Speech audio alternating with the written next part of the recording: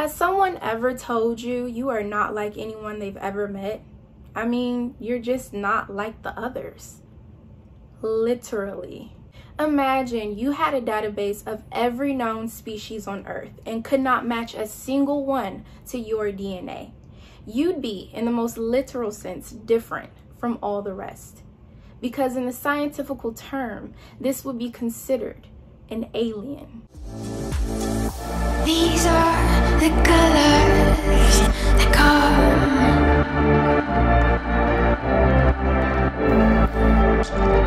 are the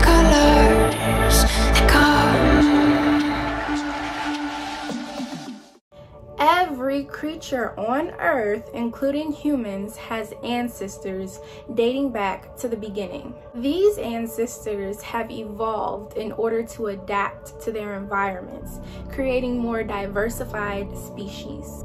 I think it's cool to think of yourself as a more modified, innovative 3.0 version of whatever inhabited the lands before you. There are vital reasons for evolution vital stages that make life on this planet sustainable.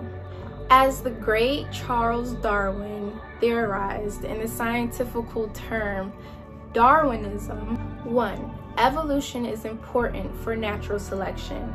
Species who adapt to reproduce use one another to sustain life. Two, survival of the fittest. Species have learned to run faster, camouflage, fly higher, distract each other. And three, struggle of existence. A lot of animals have gone extinct for struggling to exist and not further adapting to their environments.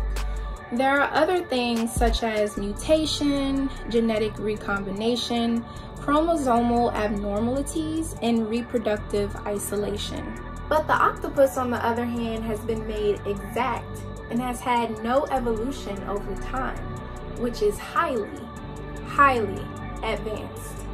While our single-celled ancestors were finding land, finding ways to invert exoskeleton, adapting to breathe oxygen while trying to grow arms and legs,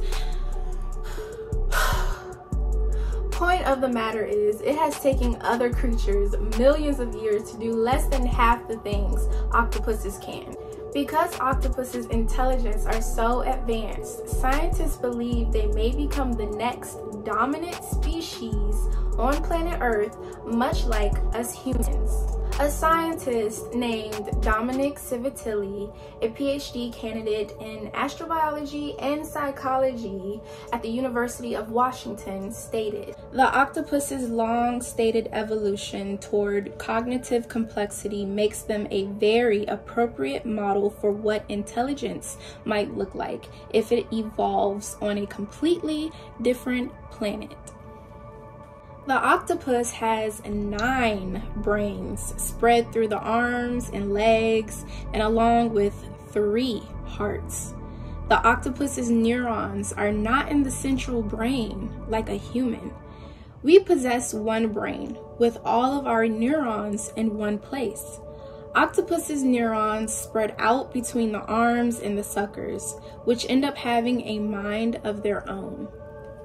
I mean, Imagine if your arms and fingers could process the world on its own. If you'd like, comment down below and describe what you think that will feel like. Sivitilli calls it distributed intelligence. I mean, I'm just imagining what it would be like to be an octopus. To name a few of the interesting, intelligent things that they can do, octopuses are known to collect items in the sea and build their own homes in the ocean, much like how we build them on land. Octopuses can edit their own DNA, they can literally ignore their genetic programming and solve complicated problems, such as camouflaging to resemble other animals and blend into their environment. I totally understand why scientists believe octopuses are aliens. They came out of nowhere, no relatives, as is, highly advanced. But you let me know down in the comments if you believe aliens are among us. thank you so much for watching this video. And if you learned something new, leave a comment, tell your friends, family, neighbors, or even your house pet that you just got the 411 from Everything Animals. And don't forget to like and subscribe if you enjoyed this video and would like to see more content.